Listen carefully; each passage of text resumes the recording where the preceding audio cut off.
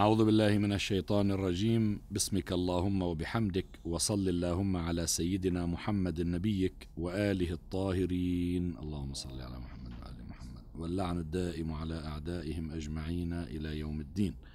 بعد ذكر المقدمة المتقدمة سابقا حول كتابنا المنوي دراسته وحول العلم الشريف الذي نحن بشرف بصدد التشرف بدراسته هو النحو نقول قال ابن مالك ناظم الأبيات كلامنا لفظ مفيد كاستقم واسم وفعل ثم حرف الكلم.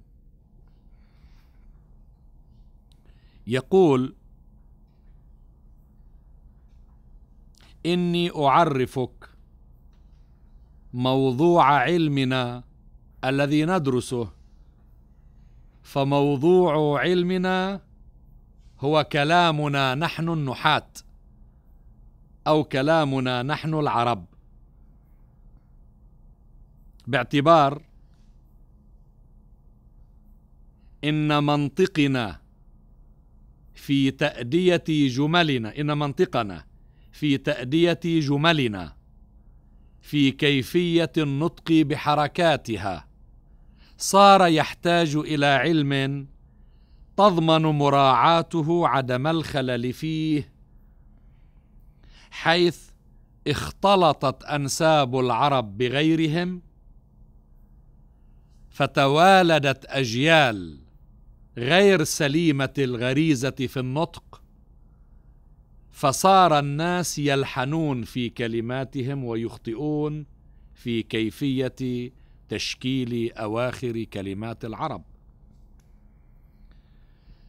فصار لا بد من وضع علم يصور لهم ويملي عليهم كيفية النطق باللفظ الواحد.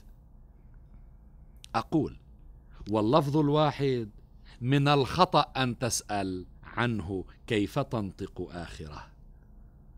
أكرر لك الكلمة الواحدة عند العرب يسأل عن مما تألفت في حروفها. ما هو شكل النطق فيها؟ بكسرة أولها بفتحة أولها بضمة أولها بتسكين وسطها. لكنك لا تشتبه فلا تسأل عن النطق في آخرها. أعيد. كلمة بيت تسأل كيف تنطق بها؟ بيت ولا بيت ولا بيت. تسأل عن صرفها تسأل عن اشتقاقها تسأل عن تحريكها عن شكلها عن صورتها. بس لا تسأل عن آخرها كيف تنطق به. أصلا لماذا؟ اعلم هذه أول معلومة نحوية لك. اعلم أن الذي يحرك آخر الكلمة هو موقعها في الجملة. هو موقعها في الجملة. فأقول بيت إذا كانت مبتدأ وفاعلا وخبرا. وأقول بيت إذا كانت مجرورة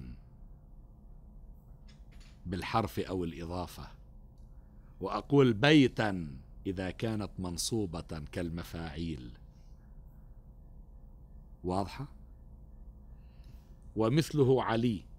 علي عليا علي بس علي لا بد أن يكون مرفوعا دائما. أو أحسنت أو منصوبا كالأعلام. ولا يكون مجرورا إلا مظلوما. واضحة؟ جيد. إذا لا تسأل عن كيفية النطق بآخر حرف في الكلمة إلا إذا كانت مع أخواتها. وأي أخواتها؟ هو الذي يتشكل معها كلام. فما الكلام؟ فما هو الكلام؟ الكلام هو ضم كلمة إلى أختها يحسن السكوت على مفادهما. أعيد. أعيد. بين الكلمات انسجام. هذا الانسجام يعبر عنه بالائتلاف. ومنه تعبير الشارح هو ما يتألف. ليش يتألف؟ لأن بين الكلمات انسجام وائتلاف ما. فإسناد كلمة إلى أختها وضم كلمة إلى أختها ينتج منهما معنى يسمى بالجملة المفيدة. أعيد. يسمى بالجملة المفيدة. إجت مصطلح جديد هلا. شو هو؟ جملة. شو يعني جملة؟ الجملة هي عبارة عن ناتج التأليف بين كلمتين. مش أنا وياك أحيانا نعبر. مفرق وجملة. أفراد وجمع. فاذا كلام يعنى به. اجتماع كلمتين مع بعضهما تفيدان معنى يحسن السكوت عليه. هذا معنى جديد. شو يعني يحسن السكوت عليه؟ فأقول لك. بالأول لا يستفيد في نحو العرب إلا من له اطلاع على أبجديتهم ولغتهم. ويجيد الكلام بلغتهم فيعرف كلمة بيت لأي معنى ويعرف كلمة عالم ويعرف كلمة حجر وشجر ويعرف قائم ويعرف فمن اطلع على كلمات العرب الموضوعة في أبجديتهم شو الأبجدية؟ الأبجدية مصطلح مأخوذ من ترتيب حروف لغة العرب. أ با جا د. ها و ز. أبجد هوز حطي كلم صعفص كوري شتخذ ضضغ هذه مجموعة حروف نطق بها العرب تألف من جذورها كلمات. هذه الكلمات يعبر عنها مستعملة أي مؤلفة من حروف الأبجدية. تسمت الأبجدية اخذا من أول حروف هذا الترتيب أبجد ابا جاد فسمي أبجد. نسبة إليها أبجدية وأبجدي.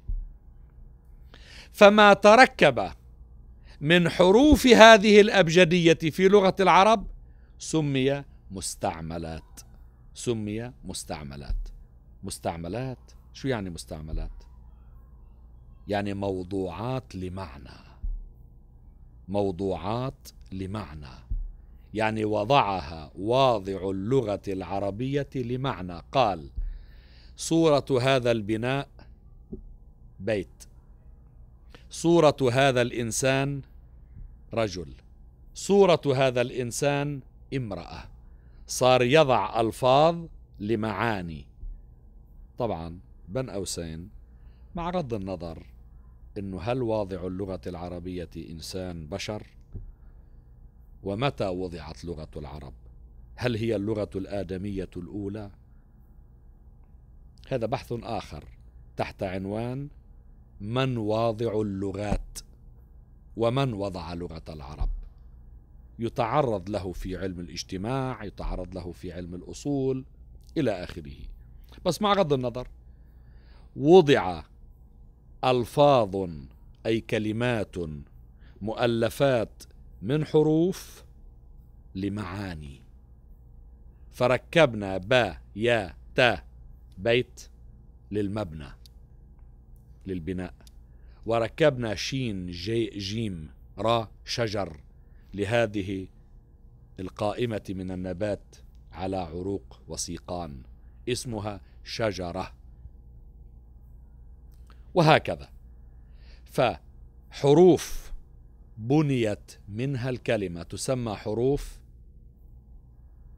المبنى.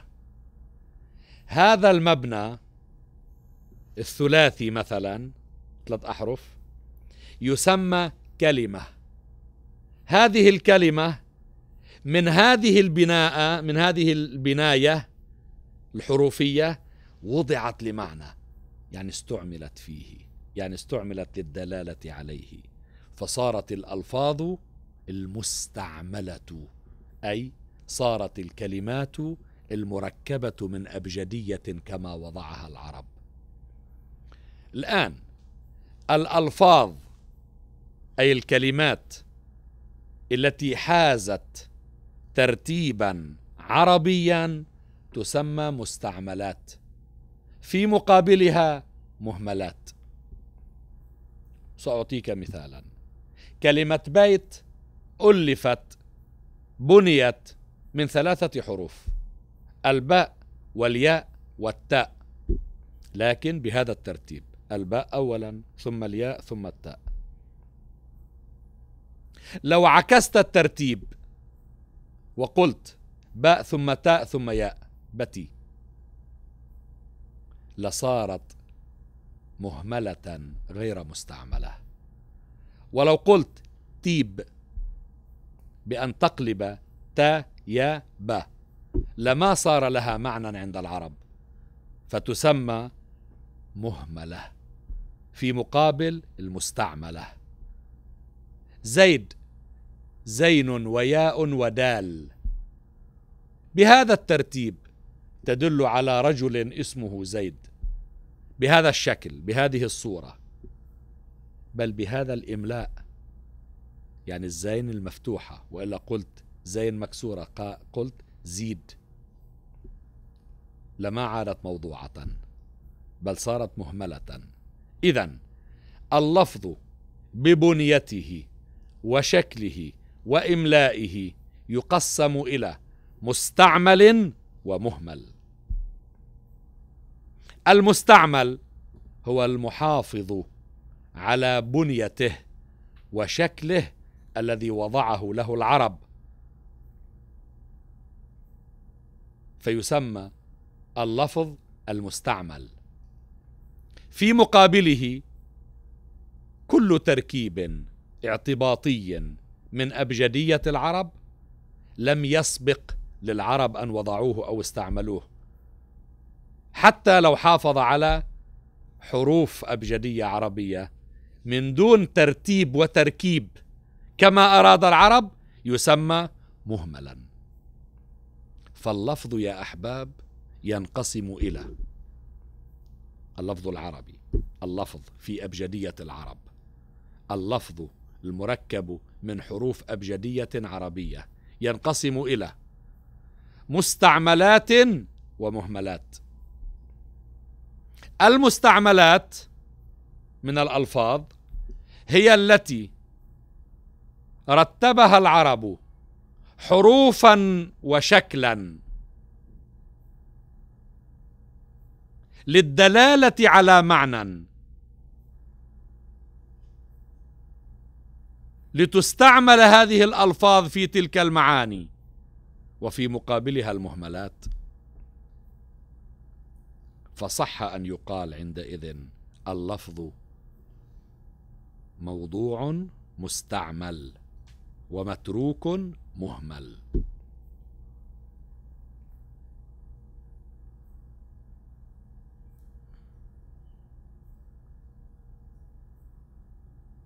أقول.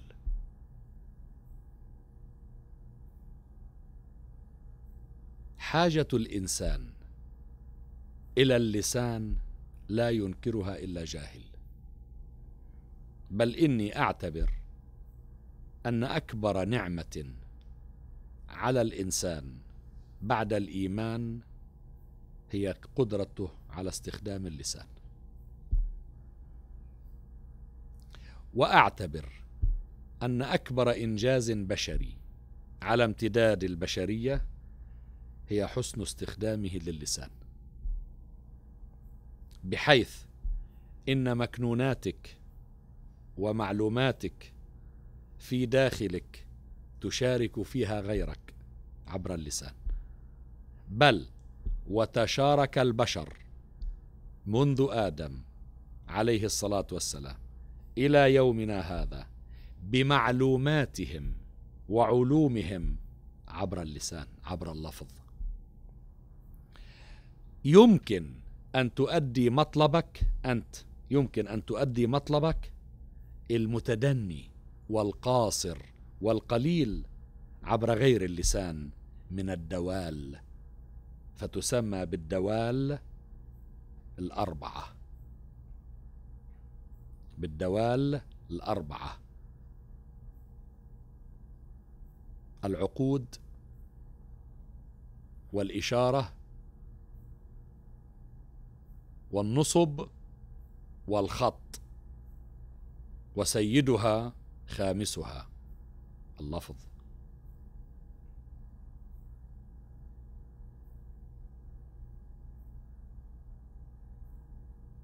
طبعا أنا قلت الدوال الأربعة باعتبار مفردها الدال. دال على مرادك. قد يكون إشارة. مثلا سألتني عن شيء فأجيبك بدال طبيعي كرفع الراس إلى الأعلى لا. أو انحناء الراس إلى الأدنى نعم. صح. إذا إشارات وحركات البدن تعطي أحيانا كشفا عن مرادك.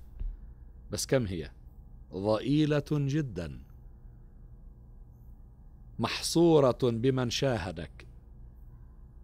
صح. ومحصورة ببعض الإمكانية في الكشف. يعني لو سئلت أنت لو سئلت أنت عن معلومة عقائدية كيف تشير؟ كيف تشرحها بالإشارة؟ ولمن تشرحها؟ خاصة بالمشاهدين. إذا بالإمكان أن تكون الإشارة دالا لكنها محصورة مقيدة. كما تكون آه، النصب دالا على شيء. شو النصب؟ كالمجسمات والرسوم. تريد بقرة فترسم بقرة. تريد الصعود إلى جبل. مثلا فترسم شخصا يحرك أقدامه باتجاه طريق وصولا إلى الجبل. أيضا محصورة. العقود هي أشبه بالرسوم لكن الحسية. مثلا تدليلا على الأرقام تدليلا على المراحل تعقد إصبعا بإصبع دلالة على الاشتباك أو دلالة على الاتحاد. مثلا تساوي إصبعا بإصبع تدليلا على المساواة. تقصر القصور. مثلا هذه عقود تعقد يدا بطريقة أو إصبعا بطريقة أو أصابع بطريقة. عقود أو حبلا تربطه دالا على اتفاق مثلا أو عقدة تفكها دالا على الخصومة. فتسمى لغة الإشارة والعقود والخط ومنه الرسوم يعني ومنه الرسوم. والنصب اللي هي ما تجدها تدليلا على أشكال أشكال أشخاص نحوت أحجار إشارات كبيرة. كالسهام مثلا والعلامات التي توضع على أن هنا بستان فتضع شجرة على أن هنا معبد فتضع وهكذا. دوال موجودة لكنها جدا قاصرة وجدا محدودة. فسيد الدوال هو الدالة الخامسة أو الدال الخامس وهو اللفظ. الآن حتى حتى لو أردت أن أشرح لكم الدوال هذه شرحتها باللفظ باللسان. إذا يكفيك اللسان عن كل غيره ولا يكفي كل غيره عنه. فصارت الألفاظ بنات اللسان. واللسان إحدى الحواس. الخمس. إحدى الحواس الخمس. للذوق للتذوق للنطق. اللسان للنطق. وصارت ابنته اسمها كلمة. فالكلمة بنت اللسان. في تسمية أدبية عرفية للحواس. ما هي؟ أحسنت. تسمى الجوارح. تسمى بالجوارح. الحواس تسمى الجارحة. اليد بنفهم أن تكون جارحة والعين تجرح. والعين تؤثر سلبا وايجابا في بعض تعابيرها أكثر من اليد. واللسان كيف يكون جارحا؟ ببناته. ببناته. فهو من الجارحات فهو من الجوارح لأن الكلمة تجرح. بل الكلمة في لغة العرب من الكلم والكلم هو الشق والجرح. مكلوم مشقوق مجروح.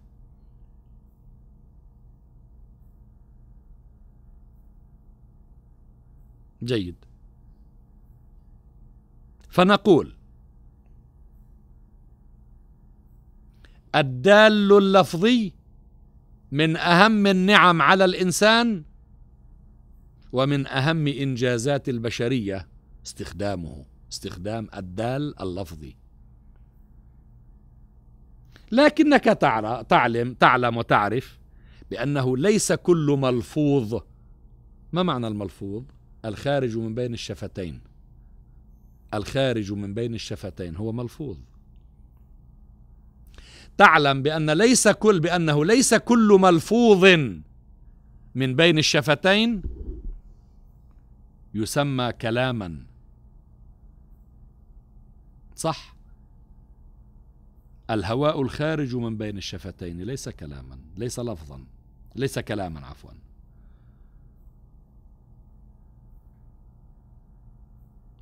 فما يخرج من بين الشفتين له تأثر بال بالهواء مع الأوتار الصوتية. هو المعبر عنه باللفظ. وطبعا كلمة اللفظ هو كل ما تلفظه أنت من فمك فهو ملفوظ. حتى لو أكلت شيئا ولم تبتلعه فتلفظه. يعني تخرجه ملفوظ خارج من شفتيك.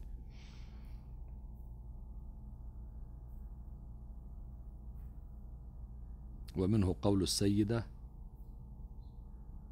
صلوات الله على الزهراء. قول السيدة فاطمة صلوات الله عليها مخاطبة نساء المهاجرين والأنصار.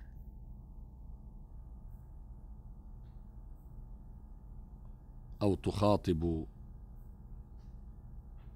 الحكام حينها. فسئلت كيف أصبحت يا بنت رسول الله صلى الله عليه وآله؟ وهي مودعة لدنيانا مقبلة على ربها بنفسها وتنعى شخصيتها أو تنعى شخصها لأنها أول اللاحقين بأبيها صلى الله عليه وآله. فكان مما قالت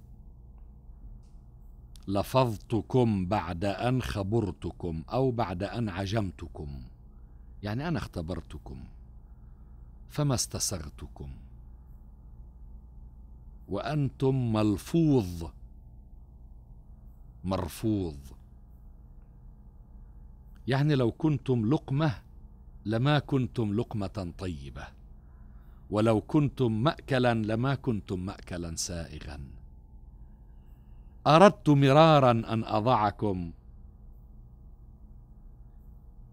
في قلبي وأحميكم بنفسي وأفديكم بوجودي. لكنكم ملفوظ. لا تستساغ. لقمتكم. ولا تستلطف نعمتكم. كنتم نقمة. فلفظتكم أخرجتكم. بعد أن خبرت خبرتكم أو عجمتكم يعني اختبرتكم. اذا فالملفوظ من بين الشفتين مما له صوت من الأوتار يسمى لفظا. بس التفت. هذا اللفظ الخارج من فمك من بين شفتيك. تارة يكون مستعملا وأخرى مهملا. فإن كان مستعملا سمي قولا. سمي قولا. وإلا كان مهملا. فكلمة بيت هي لفظ مستعمل. فهي قول. وكلمة تيب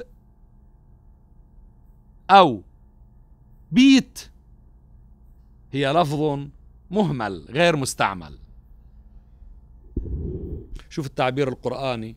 ما يلفظ من قول إلا لديه رقيب. ما يلفظ من قول. يعني لا يتفوه بكلمة مستعملة ذات معنى إلا وهي مطلوبة التبرير والتفسير من قبله. ولا لو قال ما يلفظ إلا ولديه رقيب هو بيلفظ الإنسان من بين شفتيه ما له معنى وما لا معنى له. وما كان ملفوظا كلامي وما كان ملفوظا صوتيا وما لا. قال ما يلفظ من قول إلا لديه رقيب عتيد. إذا ملفوظ مركب من أبجدية.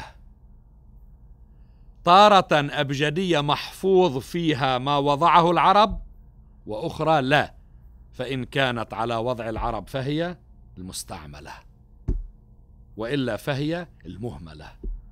فإن كانت مستعملة نسميها ماذا؟ قول. فإذا القول هو اللفظ المستعمل. القول المستعمل هو اللفظ. وشو قصدك بالمستعمل؟ لا تنساها شرحت لك إياها قبل قليل. رأيي أو مرادي بالمستعمل يعني استعمله العرب للدلالة على المعنى. استعملوه دالا على معنى. شا وجا ورا استعملوه دالا على الشجر. را وجيم ولام دال على هذا الإنسان. وهكذا. إذا لفظ مؤلف من أبجدية استعمل دالا على معنى. يا أخي عبر لي تعبير أقل اختصارا. قل لفظ مفيد.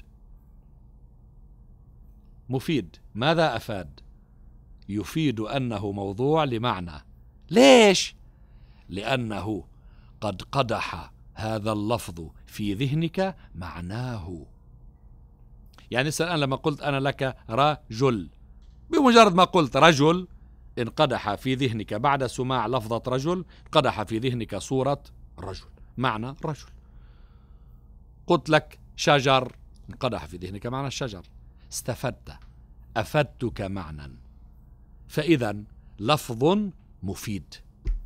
شو يعني صار لفظ مفيد يا أخي؟ قل لي هي كلمة مؤلفة من أبجدية عند العرب للدلالة على معنى لتفيدك لتفيدك معنى في مقابلها المهملات. إذا ما هي الكلمة؟ لفظ مفيد. الكلمة بنت اللسان. الكلمة بنت اللسان. هي مركب من حروف تلفظها أنت من بين شفتيك محافظا فيها على ترتيبها وتركيبها العربي حيث وضعها العرب مرتبة بحروف بهيئة ومركبة من حروف للدلالة على معنى. إذا لحكمة الإفهام والتفهيم وضعت الكلمات. لحكمة الإفهام والتفهيم. فالألفاظ كلمات مفيدات. كلمات مفيدات. سؤال. بعد هذا الشرح المستفيض شكرا بتقلي هكذا. ليش ما اختصرتها بكلمة اللفظ قول؟ مش إذا شرحت لي أنه الكلمة المستعملة التي تفيد معنى ما استعملت فيه في مقابلها المهملات قلت لي عبر لي عن اللفظ المستعمل في معنى وضعه العرب هيئة وتأليفا وتركيبا. اسمه قول. وقال لي اللفظ قول. اللي الكلمة, الكلمة قول. ليش تقول لي الكلمة لفظ. حتى ترجع تقول لي إيه انتبه. لفظ مش كل خارج من بين الشفتين. ولا كل مقلوب لفظ الكلمات. بده يكون كلمة قول الكلمة لفظ. بدك تحط لي الكلمة لفظ. مستعمل مفيد إلى قل لي الكلمة قول؟ خلاص ما هي القول؟ صارت الألفاظ المفيدات. صح؟ فقل الكلمة قول. يقول لك ما بقدر لا أقدر. لماذا؟ لأني لو قلت لك الكلمة قول لارتبكت في معنى آخر. لفظة القول كلمة القول عند العرب صحيح هي عبارة عن اللفظ المستعمل في معنى. لكن بتعرف إنه إنه لفظة القول تطلق أيضا عند العرب على غير اللفظ؟ مثاله. ما قولك في العصمة؟ قول. ما تقول في العصمة؟ يعني ماذا تعتقد؟ إذا لفظة قول بتدل على الاعتقاد. صح؟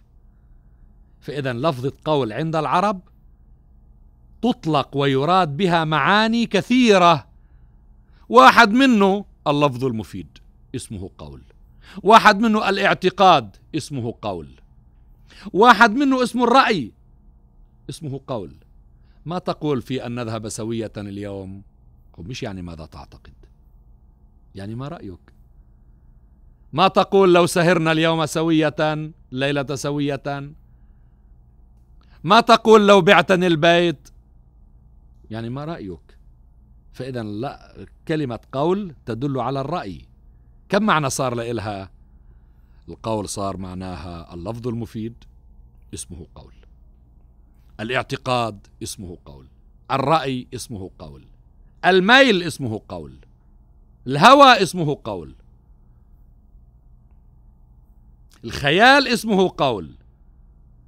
أقول وقد ناحت بقربي حمامة. ماذا أقول؟ شو يعني ماذا أقول؟ يعني ماذا ألفظ؟ مثلا وهكذا. إذا في معاني. قال حتى أخرج عن هذا الإرباك أو أخرجك حتى أخرجك من هذا الإرباك. ما قلت لك اللفظ الكلمة قول. قلت الكلمة لفظ مفيد. ولو عبرت لك الكلمة قول لأرحتك في دلالتها على المستعمل لكن لأربكتك في أن لفظة القول تدل على اللفظ وعلى سواه من الرأي والاعتقاد وغيره.